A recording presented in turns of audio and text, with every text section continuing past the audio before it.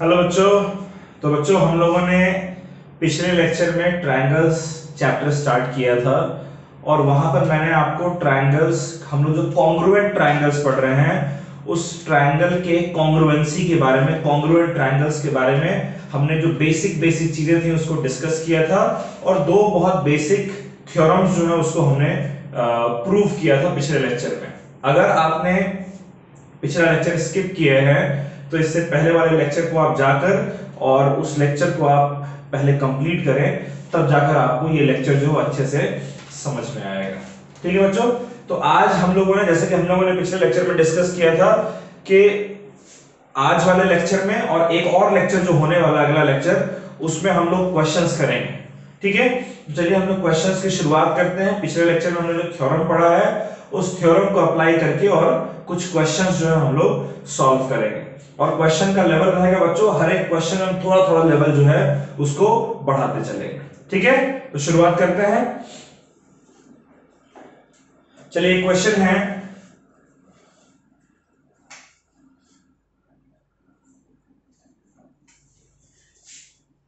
Question कह रहे है कि हमारे पास एक ट्रायंगल है ABC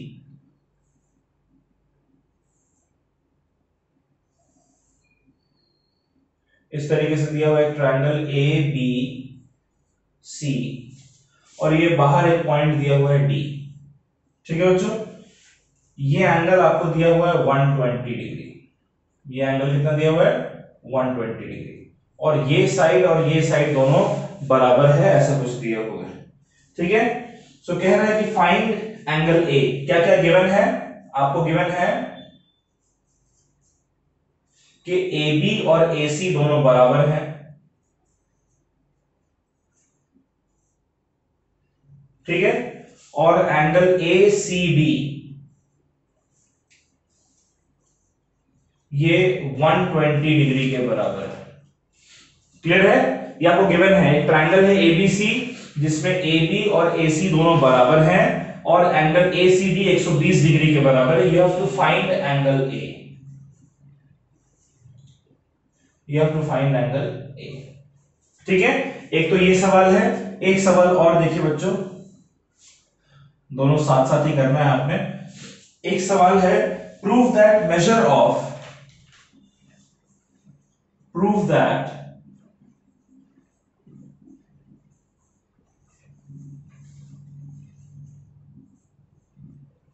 measure of each angle of an equilateral each angle of an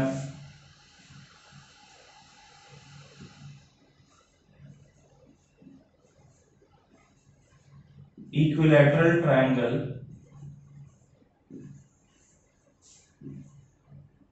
is 60 degree ठीक है ये दोनों सवाल जरा समझते हैं हम लोग एक एक करके ये इस क्वेश्चन में ये 120 डिग्री दिया हुआ है बच्चों। और ये दोनों साइड जो वो इक्वल दिए हुए हैं। याद करिए, हमने एक थ्योरम पढ़ा था पिछले लेक्चर में थ्योरम नंबर टू उसमें हमने पढ़ा था अगर दो साइड्स इक्वल हैं तो इसके ऑपोजिट जो दोनों एंगल्स होंगे, वो भी इक्वल होंगे। राइट तो अगर ये साइड और ये साइड इक्वल है, इसके ऑपोजिट एंगल कौन सा होंगे? ये वाला एंगल और इस साइड के ऑपोजिट एंगल कौन सा होंगे? ये वाला एंगल तो कायदे के अनुसार ये दोनों एंगल्स x और x दोनों इक्वल होने चाहिए ना?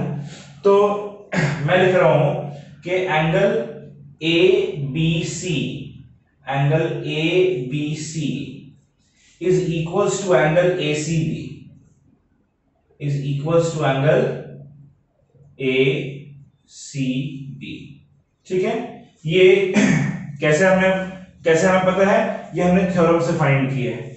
है ना? ये प्रॉपर्टी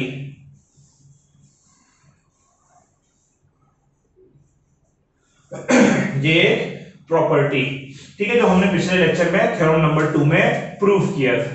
तो अगर ये x ये x और ये 120 डिग्री अब बच्चों, ये बताइए कि A C D angle A C D और एंगल ए सी बी क्या इनका सम 180 डिग्री नहीं होगा? कैसे होगा 180 डिग्री लीनियर पेयर से। होगा ना बच्चों लीनियर पेयर ये दोनों लीनियर पेयर हैं। लीनियर पेयर से इनका सम 180 डिग्री होगा। एंगल ACB हमें दिया हुआ है कि 120 डिग्री के बराबर। और एंगल ACB को हमने माना है एक्स ये हो गया 180 डिग्री यहाँ से एक्स की वैल्यू कितनी आ जाएगी? 180 degree minus 120 degree that means x becomes equals to 60 degree x की वैल्यू कितनी आ गई बच्चों? 60 डिग्री अच्छा ये भी 60 डिग्री ये भी 60 डिग्री तो इस ट्रायंगल के अंदर अगर हम देखें ट्रायंगल के अंदर अगर हम देखें इनसाइड ट्रायंगल एबीसी अगर हम देखें बच्चों ट्रायंगल के अंदर, बाहर छोड़ दीजिए तो ये एंगल ए एंगल बी और एंगल सी, जो ट्रायंगल के अंदर है, इनका सम 180 डिग्री होना चाहिए। एंगल ए हमें निकालना है।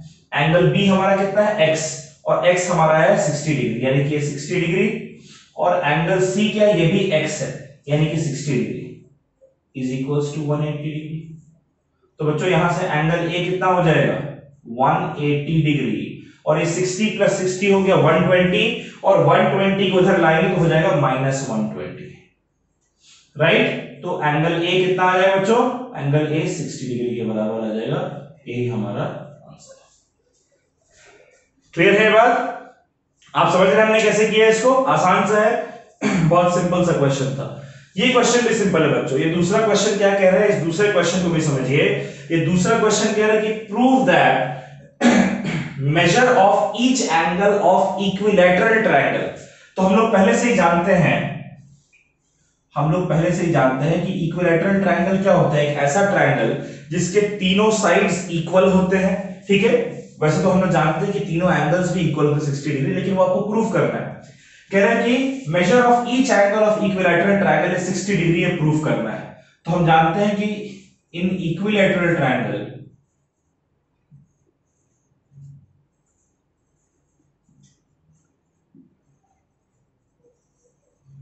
each sides are equal, right?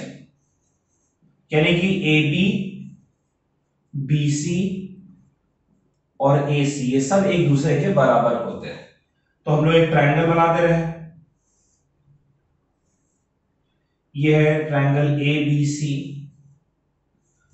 और इसमें ये साइड इसके बराबर होता है और ये साइड इसके भी बराबर होता है। ये होता है इक्विलेटरल ट्रायंगल अब जरा उसी थ्योरम टू पे हम लोग जा, जाते हैं जो पिछले लेक्चर में हमने थ्योरम टू किया था वहाँ पे जाते हैं। थ्योरम टू में हमने क्या सीखा था कि अगर दो साइड्स इक्वल है अगर दो साइड्स इक्वल हैं तो इन साइड के ऑपोजिट जो एंगल होता है वो भी इक्वल होता है। राइट अगर दो साइड इक्वल है तो इनका ऑपोजिट एंगल भी इक्वल होगा। अब देखिए, यहाँ पर अगर हम बात करें तो ए बी और A C equal A B is equals to A C A B के ऑपोजिट कौन सा एंगल है? एंगल सी इसका मतलब कि एंगल सी जो है, और ए सी के ऑपोजिट कौन सा एंगल है? एंगल बी इसका मतलब कि एंगल सी और एंगल बी दोनों बराबर होने चाहिए। ये हमने जो पिछले लेक्चर में जो थ्योरम पढ़ा था उसके प्रॉपर्टी से हो गई। होगा बच्चों, नहीं होगा? रिकॉल करिए, हमने क्या पढ़ा था कि किसी भी ट्रायंगल के अगर दो साइड्स इक्वल होंगे, तब उस ट्रायंगल के साइड जो इक्वल साइड्स हैं, उनके ऑपोजिट एंगल्स भी इक्वल होते हैं दूसरे के। तो भाई, इस ट्रायंगल में चूँकि इक्विलेटरल ट्रायंगल है, पहले से ये तीनों साइड्स एक दूसरे के बराबर हैं तो ये साइड इसका और इसका, ये दोनों इक्वल होंगे ना? इस साइड के ऑपोजिट ये एंगल इस साइड के ऑपोजिट ये एंगल जब ये दोनों साइड्स इक्वल हैं तो इनके ऑपोजिट जो दोनों एंगल्स हैं, वो भी इक्वल होने चाहिए. इसलिए एंगल सी और एंगल बी एक दूसरे के इक्वल है. इसको मैं कह रहा हूँ इक्वेशन नंबर वन अच्छा उसी तरीके से बच्चों ए बी और बी सी भी तो इक्वल है ना? Right also A B is equals to B C A B और बी सी दोनों एक दूसरे के क्या है? इक्वल तो ए बी के अपोजिट कौन सा एंगल है? एंगल सी और बी सी के अपोजिट कौन सा एंगल है? एंगल ए यानी कि एंगल सी और एंगल ए भी बराबर होने चाहिए। अब अगर हम इन दोनों इक्वेशन को कंपेयर करें, अगर हम इन दोनों इक्वेशन को कंपेयर करते हैं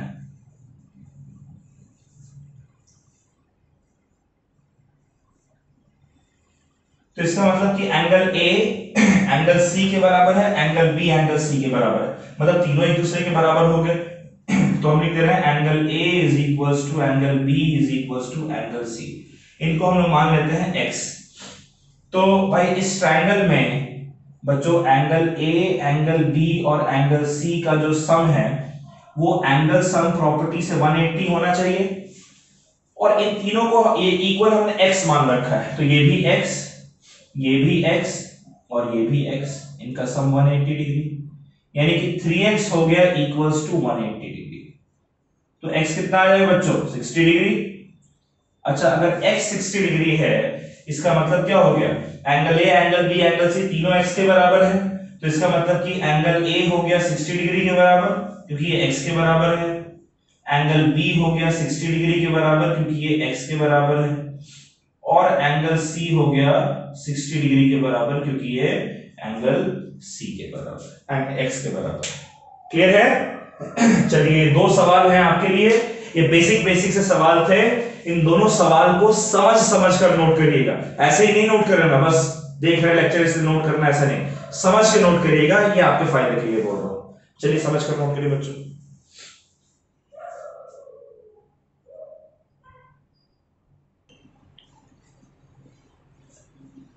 चलिए बच्चों, आगे सवाल देखते हैं। एक क्वेश्चन है। इसको नोट करिएगा। दो क्वेश्चन फिर से हम लोग इकट्ठे करेंगे।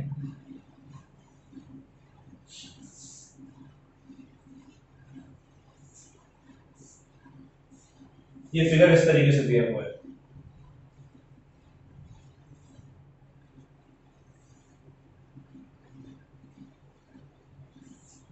ठीक है? इस तरीके से फिगर दिया है, कह रहा है कि ये लाइन है ए बी और ये है सी बी दो line A B C D एक दूसरे को इंटरसेक्ट कर रहे हैं ओ पॉइंट पर। ए को सी से ज्वाइन किया बी को डी से ज्वाइन किया। क्वेश्चन में कह रहा है O is midpoint of A B and C D O is midpoint of A B and C D आपको क्या क्या प्रूफ करना है बता दे रहे हैं। आपको प्रूफ करना है तीन चीज़ें हैं। एक प्रूफ करना है कि ट्रायंगल ए और C is congruent to triangle B और डी दूसरा प्रूफ करना है A C is equal to B D और तीसरा प्रूफ करना है कि AC is parallel to BD ठीक है बच्चों? चलिए, एक तो ये सवाल है आपके लिए। एक सवाल है,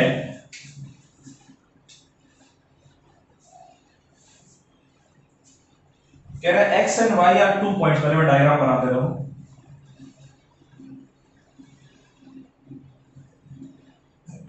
ये triangle A B C A B C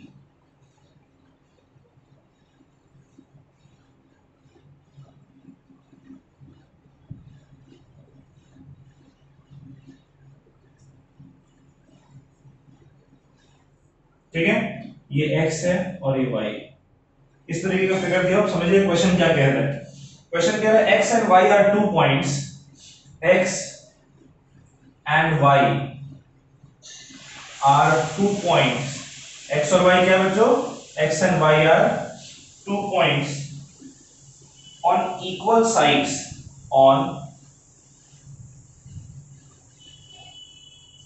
equal sides AB and AC on equal sides AB and AC of triangle ABC ठीक है such that such that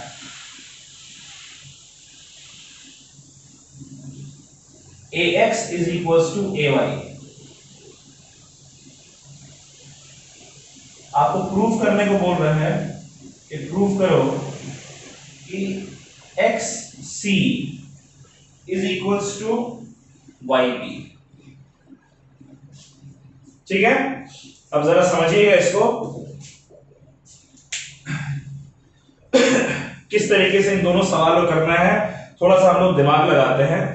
question में कह रहा है कि O is the midpoint of A B and C B एक बात बताइए, अगर O ए बी का मिड पॉइंट है, अगर O बी का मिड पॉइंट है तो इसका मतलब कि ओ ए और ओ बी दोनों बराबर होने चाहिए। मिड पॉइंट का ही मतलब है।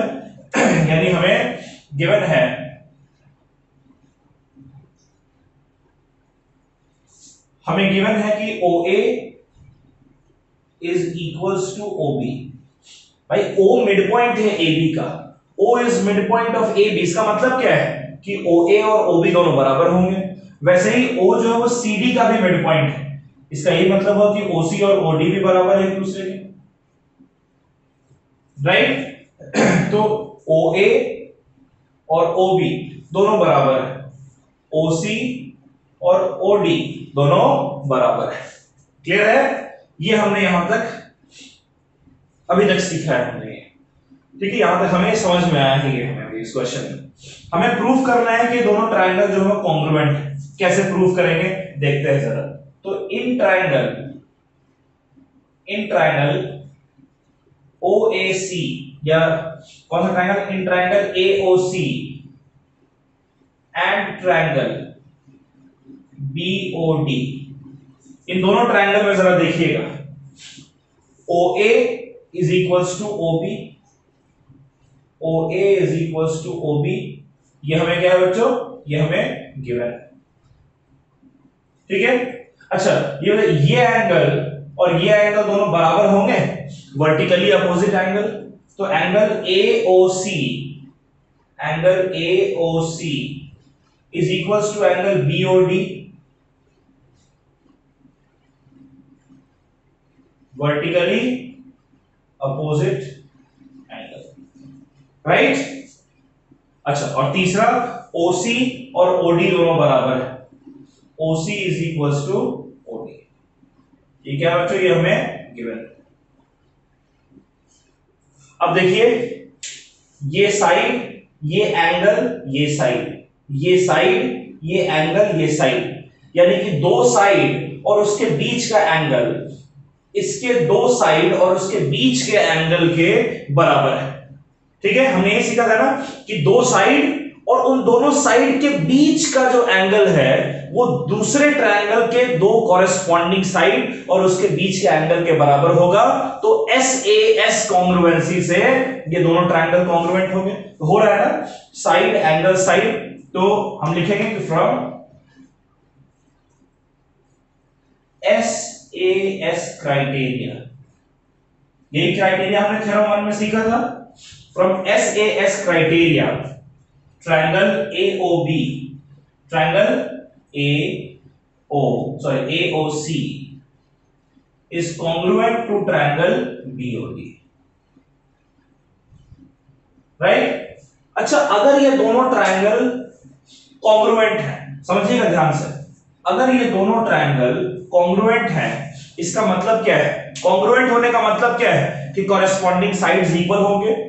कॉरेस्पॉन्डिंग एंगल्स भी इक्वल होंगे राइट तो हमें नेक्स्ट प्रूव करना था AC is equals to BD ये तो हमारा पहला पार्ट था।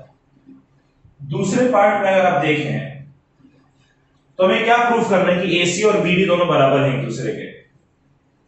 इससे देखिए CPCT से बाय CPCT पिछले थ्योरम द थ्योरम कर रहे थे पिछले लेक्चर में मैंने बताया था कि CPCT होता है corresponding part of congruent triangle right तो सीपीसीटी से एसी एसी और बीडी एक दूसरे के बराबर होने चाहिए।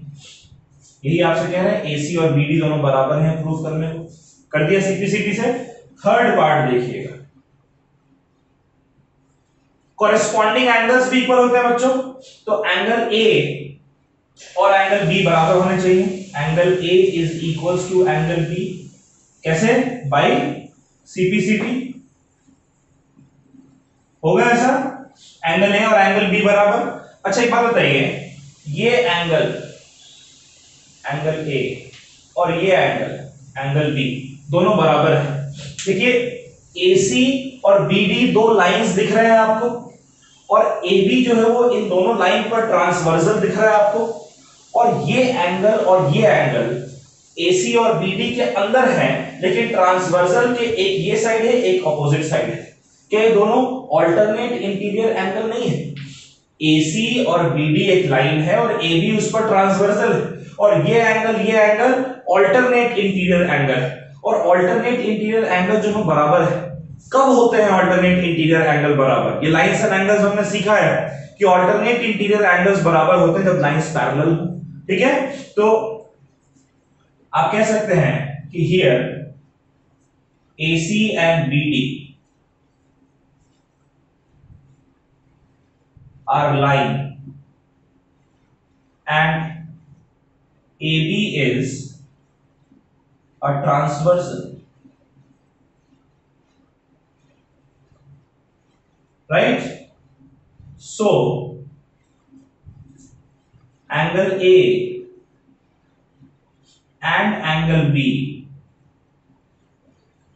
are alternate interior angles ठीक है? और ऑल्टरनेट इंटीरियर एंगल बराबर है। ठीक है? और ऑल्टरनेट इंटीरियर एंगल जो है बराबर है। इसका मतलब ये हुआ कि AC is parallel to BD तीसरा भी हमने प्रूव कर दिया। क्लियर है ये बात? चलिए। इस सवाल को देखते हैं। बच्चों, इस सवाल में देखिए, ये सवाल आपको समझ में आया ना? ठीक है? इस क्वेश्चन में कह रहा है कि x and y are two points x और y, देखिए, x, ये एक पॉइंट है। x किस पर पॉइंट है? AB के ऊपर पॉइंट है x और AC के ऊपर पॉइंट है y. और क्वेश्चन कह रहा है कि x and y are two points on equal side AB and AC on equal side AB and AC यानी आपको गिवन है कि AB और AC एक दूसरे के बराबर है। आपको क्या गिवन है कि ए बी और ए सी ये दोनों एक दूसरे के बराबर है। ठीक है? और equal side A B and A C of triangle A B C such that A X is equal to AY ये भी आपको दिया हुआ है कि ए एक्स और ए वाई ये दोनों एक दूसरे के बराबर है। ठीक है बच्चों? आपसे कह रहे हैं कि आपको प्रूव करना है X C is equal to YB मैं ना दो ट्राइंगल ले रहा हूँ। ठीक है? कौन कौन सा ट्राइंगल है? ध्यान से देखिएगा। In triangle A X C in triangle A X C ठीक है? इसमें एक्स सी आ रहा है ना, जो आपको प्रूफ करना है। और दूसरा लेना है triangle A Y B A Y B देखिए, इसमें वाई बी आ रहा है। ठीक है? आप बोलेंगे, सर वाई बी तो वाई बी सी इस ट्राइंगल में भी आ जाएगा। ठीक है? और एक्स सी बी इस ट्राइंगल में भी आ जाएगा। उसके थ्रू भी कर सकते हैं। ठीक है? लेकिन इससे बेहतर है कि ऊपर वाला ट्राइंगल थोड़ा कम कॉम्प्लिकेटेड होगा। ट्राइंगल ए एक्स सी को अगर हम बनाए ट्राइंगल ए एक्स सी देखिए ऐसा है। मैं इसका छोटा सा हिस्सा जो है बना रहा हूँ आपके लिए।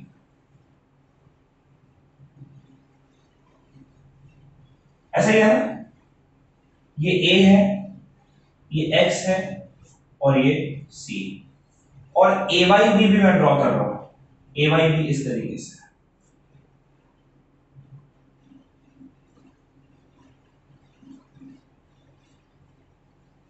ए वाई बी ठीक है? ऐसे ही बच्चों दोनों दोनों ट्रायंगल मैंने अलग अलग बना दिए। ए एक्स सी देखिए ये वाला है और ए वाई बी देखिए ये वाला है। अब इसमें क्या क्या गिवन है समझिएगा। इसमें गिवन है कि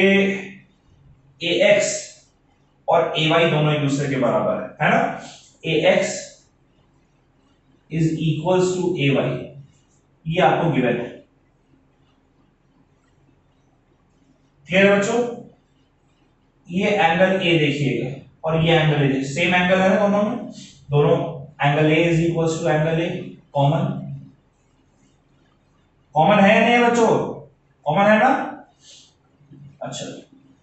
और फिर आपको दिया दिया है कि ए बी और ए सी बराबर है। ये ए सी और ए बी दोनों बराबर है। ये भी दिया हुआ है।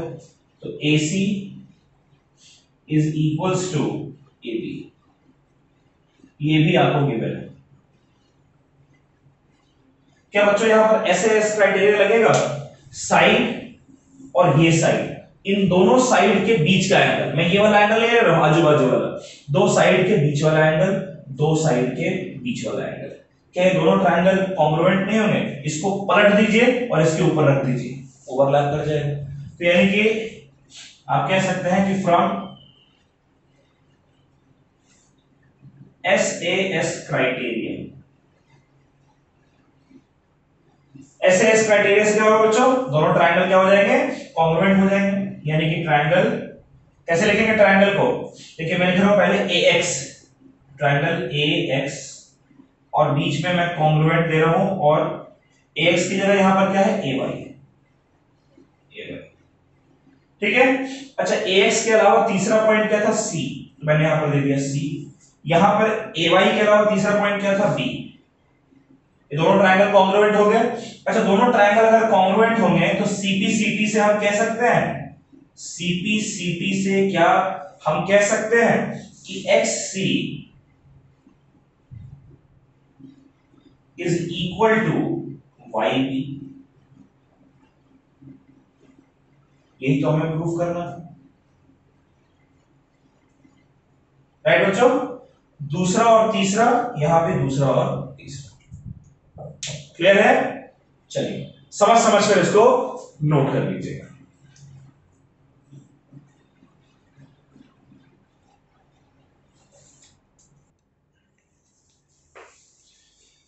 चलिए बच्चों, फिर से दो सवाल देखते हैं।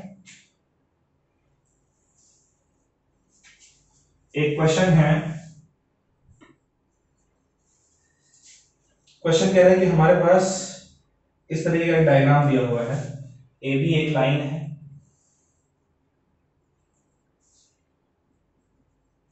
ठीक है? और डी एक पॉइंट है यहाँ पर इस तरीके से।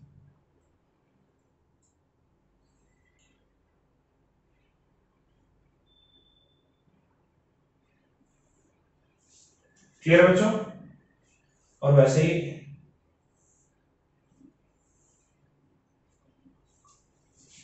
ये डी पॉइंट है।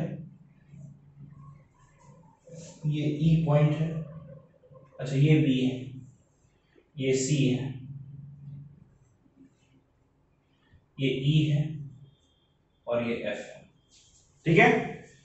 ये डायग्राम है आपके पास कह रहा है गिवन है कि A B is equal to C F सवाल में गिवन है कि A B is equals to C F ठीक है? And E F is equals to B D और angle A F E angle A F E is equals to angle C B D ठीक है? आपको proof करना है। बच्चों, के triangle A F E is congruent to triangle C B D ठीक है? चलिए, एक तो ये सवाल है। और अगला सवाल जो आपका है, ये सवाल भी समझ लीजिए। क्वेश्चन कह रहा है कि A B is a line segment AB is a line segment. And L is its perpendicular bisector. L is its perpendicular bisector. ठीक है if a point P lies on L if a point P lies on L show that show that P is equidistant P is equidistant from A and B ठीक है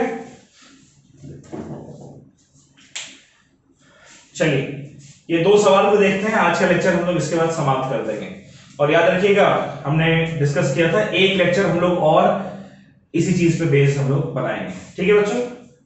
तो इस time इस इस question से शुरुआत करते हैं। ये क्वेश्चन कह रहा है कि ए बी और सी एफ़ बराबर है। ए बी और सी एफ़ बराबर है। ठीक है? ई e एफ़ और बी डी बराबर है। ई e एफ़ और बी डी बराबर है। और ए एफ़ ई ए एफ़ ई यानी ये वाला एंगल ठीक है? और angle C B D C B D C B D यानी ये वाला एंगल ये दोनों एंगल बराबर है. ई e एफ़ और बी डी भी बराबर है. ठीक है? और ए बी और सी एफ़ बराबर है. तो हम लोग कौन सा ट्राइंगल लेने जा रहे हैं बच्चों? हम लोग लेने जा रहे हैं ट्राइंगल जो प्रूफ करने क्या है? Triangle A F E A F E और दूसरा ट्रायंगल लेने जा रहे हैं ट्रायंगल सीबीडी सीबीडी ये पूरा वाला ट्रायंगल ठीक है? अच्छा बच्चों, एक बात बताइए। हमें गिवन है, हमें गिवन है कि ए बी और सी एफ़ बराबर है एक दूसरे के राइट अच्छा अगर मैं एफ़ बी को, अगर मैं एफ़ बी को दोनों साइड ऐड कर दूँ, कोई फ़र्क तो नहीं पड़ेगा? इस साइड में लिख दे रहा हूँ A B plus B F और इस साइड में C F plus B F दोनों साइड हमने, देखिए ए बी सी एफ़ के बराबर था। हमने दोनों side B F B F add कर दिया कोई फ़र्क नहीं पड़ेगा। ठीक है? B F plus A B B F plus A B ये पूरा क्या हो जाएगा? A F right B F और ए बी दोनों को जोड़ेंगे तो ए से लेकर एफ़ तक आ जाएगा ना ए एफ़ अच्छा ये किसके बराबर है? C F plus B F C F plus B F ये बी सी के बराबर हो जाएगा। तो ए एफ़ जो है बच्चों, वो बी सी के बराबर आ रहा है। A F is equals to C B इस तरीके से लिखते हैं। ठीक है? आप एफ़ की तरफ़ जा रहे हो तो ए से एफ़ जा रहे हो। और यहाँ पर आप सी से बी जा रहे हो। तो ये सी बी के बराबर। बी सी लिखेंगे तो भी कोई फ़र्क नहीं पड़ता है। हम एक ऑर्डर में लिखना चाह रहे हैं। ये तो हमने फाइंड किया है। अच्छा इसके अलावा ये बीच वाला एंगल देखिए एंगल ए एफ़ ई और एंगल सी बी डी ये दोनों बराबर है। ये आपको गिवन गिवन है ना बच्चों? ठीक है। और आपको क्या दिया हुआ है? और आपको दिया हुआ है कि ई एफ़ बी डी बराबर है। E F is equals to B D ये भी आपको गिवन है। तो देखिए बच्चों, इस ट्रायंगल में ये साइड ये एंगल और ये साइड और इस ट्रायंगल में ये साइड ये एंगल और ये साइड ठीक है? करेक्ट जैसे अगर मैं दोनों ट्रायंगल बना दूँ, देखिए ये ऊपर वाला ट्रायंगल है और ये नीचे वाला ट्रायंगल है। इसको नाम दिया गया है डी बी सी है ना? और इसको नाम दिया गया है ए एफ़ ई इसमें देखिए, ये साइड इसके बराबर ये एंगल इस एंगल के बराबर और ये साइड और ये साइड हमने यहाँ पर प्रूफ किया के बराबर है। तो देखिए side angle side side angle side ठीक है? तो हम इसका मतलब कह सकते हैं कि from S A S criteria ठीक है from S A S criteria दोनों ट्राइंगल कॉन्ग्रुएंट होंगे। तो कैसे लिखेंगे दोनों ट्राइंगल को कॉन्ग्रुएंट देखिए पहले हम लिखेंगे इसको ए एफ़ ए एफ़ है ना? इस congruent to C B C B अब ए एफ़ के अलावा क्या बचता है? ए एफ़ के अलावा बचता है ई e, यानी कि ए एफ़ ई और सी बी के अलावा क्या बचता है? डी यानी कि सी बी डी यही देखिए प्रूफ करना था आपको। ठीक है? प्रूफ ठीक बच्चों इसके बाद अगर आपसे बोलता कि प्रूफ करिए कि ये एंगल इस एंगल के बराबर है कर देते प्रूफ कहता प्रूफ करने को ये एंगल इस एंगल के बराबर है कर देते प्रूफ ठीक है? कहता कि अगर ए e और सी डी ये दोनों एक दूसरे के पैरेलल कर देते प्रूफ भाई ये ट्रांसवर्सल है ये लाइन ये लाइन और ये एंगल ये एंगल बराबर है ऑल्टरनेट इंटीरियर एंगल ठीक है? अगर कहता है कि ये साइड और ये साइड पैरेलल कर देते प्रूफ देखिए ये साइड ये साइड और बी एफ़ इसके ऊपर ट्रांसवर्सल तो ये ऑल्टरनेट इंटीरियर एंगल्स इक्वल ठीक है? कुछ भी कहता हम लोग कर सकते हैं इस पर राइट जो भी चीज़ें मैं बोल रहा हूँ, ये सब पूछता हम, कुछ भी निकाल सकते थे। हाँ लेकिन इसके बाद ही। यहाँ के बाद सीपी सीपी से एंगल्स को कॉरेस्पॉन्डिंग एंगल लगा देते और फिर शो कर देते कि ये है। क्लियर है बच्चों? चलिए, ये आखिरी सवाल आज का हम लोग सॉल्व करते हैं। ठीक है? ये क्वेश्चन कह रहा है कि A B is a line segment चलिए, जो क्वेश्चन कह रहा है वैसा हम लोग करते चलते हैं। क्वेश्चन कह रहा है कि ए बी एक लाइन सेगमेंट चलिए भैया, एक लाइन सेगमेंट बना देते हैं A B okay and L is perpendicular bisector. ये देखिए, ऐसा कुछ होगा। ये ये लाइन L है। ठीक है? और एल क्या है इस पर? परपेंडिकुलर बाइसेक्टर यानी पहली बात तो कि एक तो ये परपेंडिकुलर है। और दूसरा जो है बच्चों, ये बाइसेक्टर यानी अगर इस पॉइंट को मैं ओ कह दूँ तो OA और ओ बी दोनों एक दूसरे के बराबर है। यानी आपको क्या क्या गिवन है, इसको हम यहाँ पर लिखते चलते हैं। हमें गिवन है कि ओ ए ओ बी के बराबर है। राइट अब कह रहे हैं कि if a point P lies on L. ये जो लाइन L है ना, इसके ऊपर कहीं एक पॉइंट P लाई कर रहा है। ठीक है? तो हम कह सकते हैं कि ए एंगल जो है एंगल ओ ए और POB एंगल POB ये दोनों एक दूसरे के बराबर है राइट 90 डिग्री 90 डिग्री इसको आप कह सकते हैं 90 डिग्री या चलिए इसको ऐसे कर। इक्वल्स टू 90 डिग्री ठीक है बच्चों? अच्छा अब आपसे क्या कह रहा है? आपसे कह रहा है कि शो दैट आपको क्या शो करना है? Show that P is equidistant from A and B. इसका मतलब क्या हो गया? आपको शो करना है कि जो P है, वो A और B से इक्विडिस्टेंट यानी इक्वल दूरी पर है। तो P को A से ज्वाइन कर दीजिए। P को B से ज्वाइन कर दीजिए। तो P अगर इक्विडिस्टेंट यानी PA is equals to PB PA is equals to PB अच्छा ये सवाल से तो एक एक इंपॉर्टेंट कंक्लूजन हमारा निकल कर आएगा। ठीक है, वो भी हम लोग देखेंगे। ये लाइन हमारा एल है। ठीक है? चलिए, ये आसान सा सवाल है, कोई ऐसा बहुत डिफ़िकल्ट नहीं है। अगर इस ट्राइंगल में देखें, कौन से ट्राइंगल में? In triangle P O A in triangle P O A और दूसरा कौन सा ट्रायंगल है पीओबी एंड ट्रायंगल पीओबी इसमें बताइए बच्चों ए और ओ बी इक्वल है ना? O A is equal to B O B ये सवाल में आपको गिवन है। परपेंडिकुलर बाइसेक्टर गिवन है। ए ओ बी के बराबर है। अच्छा ये दोनों एंगल 90 डिग्री है। Angle P O A is equal to angle P O B O B 90 degree each. ठीक है? और पीओ इन दोनों ट्राइंगल के लिए कॉमन है। ठीक है? ओपी लिख देते हैं। O P is equal to O P ये क्या है बच्चों? कॉमन तो देखिए side angle side side angle side तो एस ए एस क्राइटेरिया से। किसे बच्चों? एस ए एस क्राइटेरिया से ट्राइंगल इसको मैं लिख रहा हूँ ओ ए ठीक है? Is congruent to triangle O B अब बच क्या रहा है, देखिएगा, इसमें बच रहा है पी इसमें बच रहा है P, यानी कि triangle POA is congruent to triangle POB होगा ऐसा? अच्छा दोनों ट्राइंगल अगर कॉन्ग्रुएंट हैं तो सीपीसीटी से by CPCT AP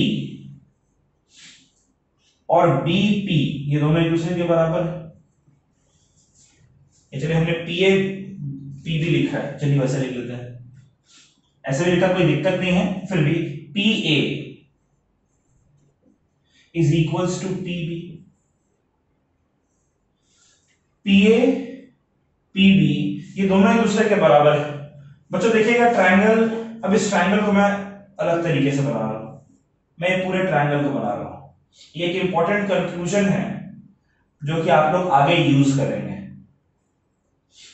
P A B triangle जो है बच्चों, इसमें देखिए ये साइड और ये साइड बराबर है राइट तो ज़ाहिर सी बात है ये एंगल और ये एंगल भी बराबर हो गया हमने थ्योरम 2 में पढ़ा है। तो क्या ये आइसोसेलेस ट्रायंगल नहीं हो गया? हुआ ना? और आइसोसेलेस ट्रायंगल में देखिए, अगर हम परपेंडिकुलर ड्रॉ करते हैं अगर हम क्या करते हैं बच्चों, एक परपेंडिकुलर ड्रॉ करते हैं। यानी कि अगर हम परपेंडिकुलर बाइसेक्टर ड्रॉ करते हैं तो ये परपेंडिकुलर बाइसेक्टर क्या कर रहा है? क्या कर रहा है? इसको दो इक्वल हिस्सों में डिवाइड कर रहे हैं ना? तो यानी कि अगर ये ये पॉइंट आपका ओ है तो ये और ये दोनों बराबर होंगे। एक बात हमेशा याद रखिएगा आइसोसेलेस ट्रायंगल में जो दो साइड्स इक्वल हैं, उनको मिलाकर जो साइड बन रहा है उसके ऑपोजिट वाले वर्टेक्स से अगर परपेंडिकुलर ड्रॉ करते हैं ना तो वो इस बेस को, इस साइड को बाइसेक्ट करता है। यानी ये परपेंडिकुलर जो है वो परपेंडिकुलर बाइसेक्टर होता है। क्लियर है बात? चलिए, इसको नोट कर लीजिए और इसको इस कॉन्सेप्ट को हम लोग, ये परपेंडिकुलर बाइसेक्टर वाले कॉन्सेप्ट को कहीं भी आएगा तो हम लोग यूज़ करेंगे। और ऐसा ही इक्विलेटरल ट्रायंगल में भी होता है। इक्विलेटरल ट्रायंगल में ये दोनों एंगल इक्वल होते हैं तो ये परपेंडिकुलर बाइसेक्टर होता है। अब आप लोग आइसोसेलेस ट्रायंगल या इक्विलेटरल ट्रायंगल के लिए परपेंडिकुलर बाइसेक्टर वाला जो टर्म है, उसको यूज़ करिएगा। ठीक है? चलिए, इसको नोट कर लीजिए। आज हम यही समाप्त कर रहे हैं। इस तरीके के कुछ क्वेश्चंस अगले लेक्चर के पहले अपने एंड से आप लोग ट्राई कर लीजिएगा। आर डी शर्मा से एनसीआरटी से, जहाँ से भी ऐसे क्वेश्चंस मिले। ठीक है बच्चों? चलिए bye take care stay safe इसको नोट कर लीजिए। पढ़िएगा याद से, अच्छे से। ऑलराइट मिलते हैं अगले लेक्चर में। बाय